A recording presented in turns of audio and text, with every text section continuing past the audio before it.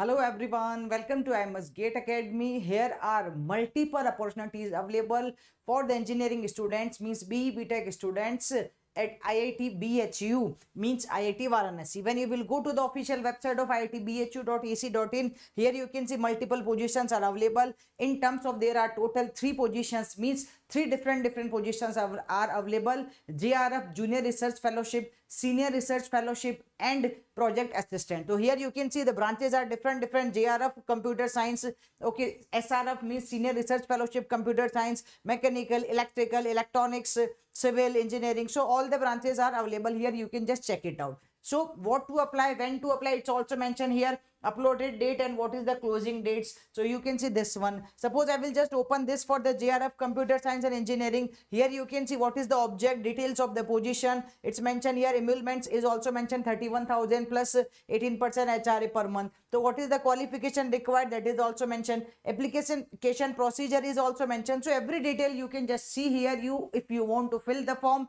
if you want to apply there then you can just apply according to the closing dates. So just go through the official website of IIT BHU and just check it out dear students. Thank you